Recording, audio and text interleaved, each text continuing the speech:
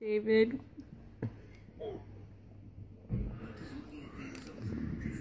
Do you love her? Cassie. Hi, baby girl. Oh. okay.